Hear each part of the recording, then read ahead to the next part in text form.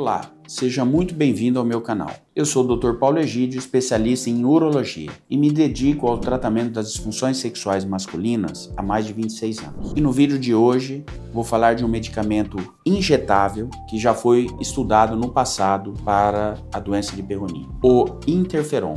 Será que realmente ele funciona? Quais são os resultados observados e quais efeitos colaterais você pode experimentar? Fique comigo até o final para entender, com base na literatura, os prós e contras dessa alternativa. Se inscreva no canal, deixe o seu like e ative o sininho para receber os próximos vídeos. Vamos ao vídeo.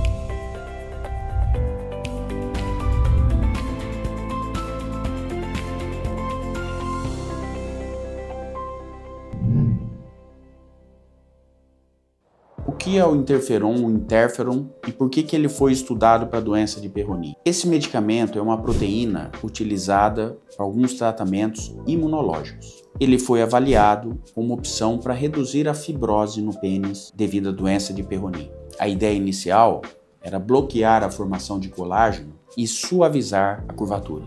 O que mostraram os estudos clínicos? Alguns trabalhos sugeriram melhora discreta na dor e pouca melhora na curvatura, mas os resultados foram inconsistentes e variaram muito na literatura. Não houve evidência robusta que o interferon foi capaz de resolver deformidades significativas. Nesse estudo foi feito um ensaio clínico multicêntrico controlado com placebo e foi aplicado o interferon direto na, na região da placa por 12 semanas em 117 pacientes. Mostrou melhora pequena na melhoria da curvatura quando comparada ao uso do placebo, e essa melhora foi de 10 a 13 graus apenas, e com grande variabilidade entre os pacientes. A maioria dos pacientes que procuram uma curvatura muito acentuada, ter uma melhora de 10 a 13 graus é uma melhora muito pequena. Isso não vai ser suficiente para evitar a necessidade de um tratamento cirúrgico. Então, se você tem uma curvatura de 90 graus, melhorar 10 a 13 graus para 78 graus, por exemplo, não vai melhorar a capacidade penetrativa.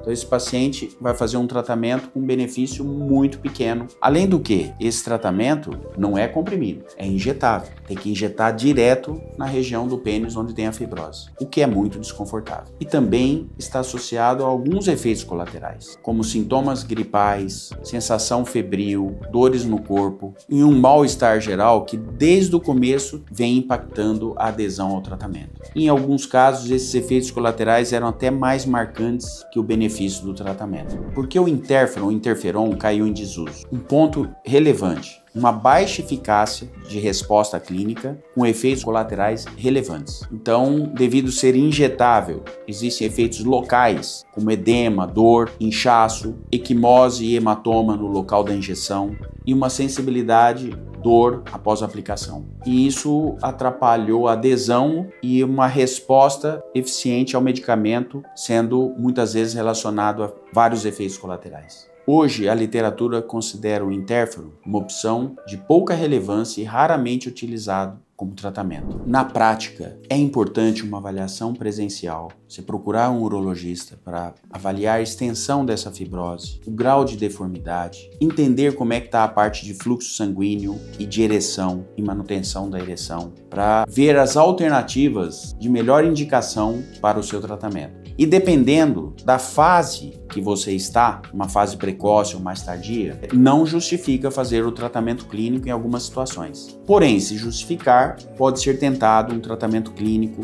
geralmente oral, associado à fisioterapia, com aparelhos de tração, vácuo, mas isso precisa ser individualizado para cada paciente e um acompanhamento mais próximo para ver a eficácia e até que ponto justifica investir nesse tratamento clínico. Alguns casos, uma evolução mais marcante, uma fibrose às vezes já calcificada, não tem espaço para o tratamento clínico, que pode ter já uma indicação cirúrgica. Ou seja, uma avaliação criteriosa para individualizar a cada fase que cada paciente se encontra na evolução da doença de Peyronie. Vai determinar qual vai ser o tratamento mais indicado, individualizado e personalizado para cada paciente.